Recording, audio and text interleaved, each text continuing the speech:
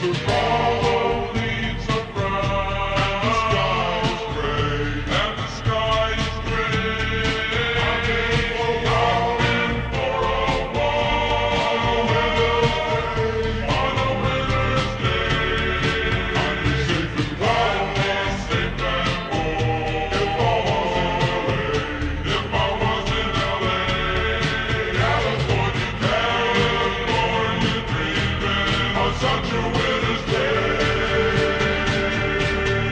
stopped into a church.